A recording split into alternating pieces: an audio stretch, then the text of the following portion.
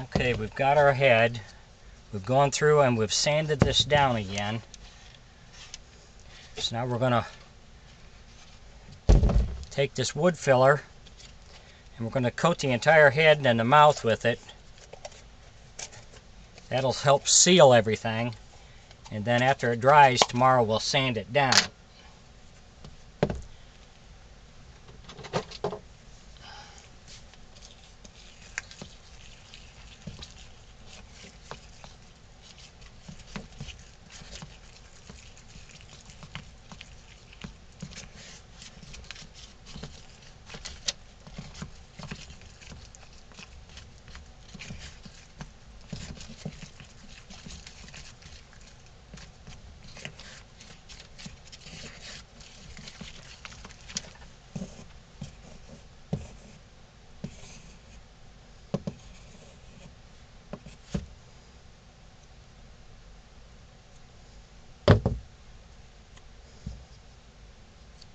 Just gonna put this through all, cover the entire head. This will help seal any of your little cracks or marks from your sanding.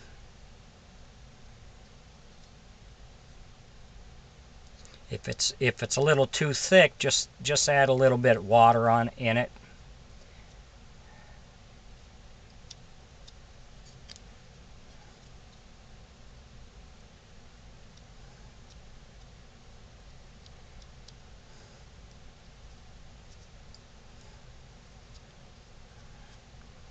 just add a little water to my finger to smooth it out.